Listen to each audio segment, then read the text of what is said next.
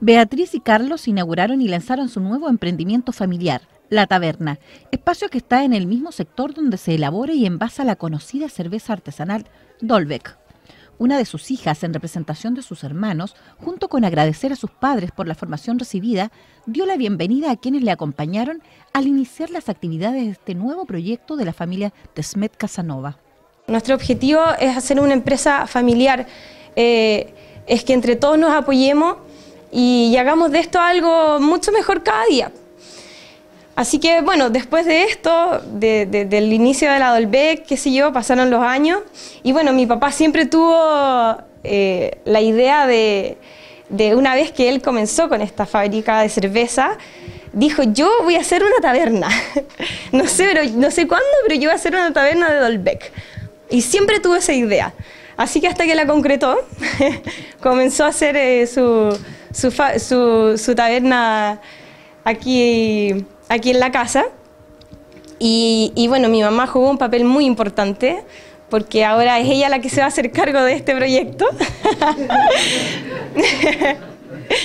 y bueno, en el fondo no, no tú sola, sino que tus hijos también.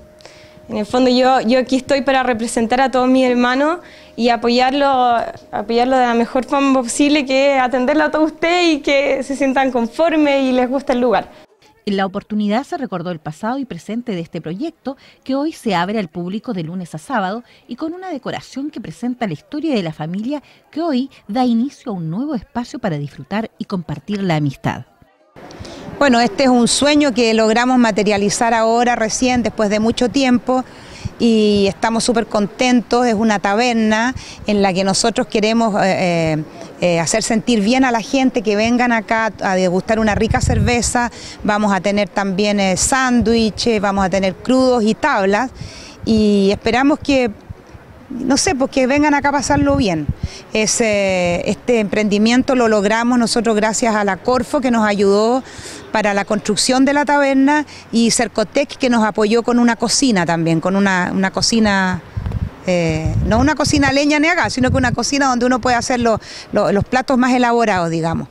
Así es que estamos súper contentos y esperamos que todo salga bien, por lo menos le vamos a poner mucho corazón en esto. ¿Cómo va a funcionar?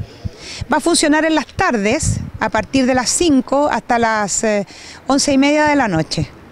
La taberna cuenta con un amplio espacio para estacionamiento y está ubicada en Baquedano 1895, sector Puente de la Cruz, en Coyhaique, región de Aysén.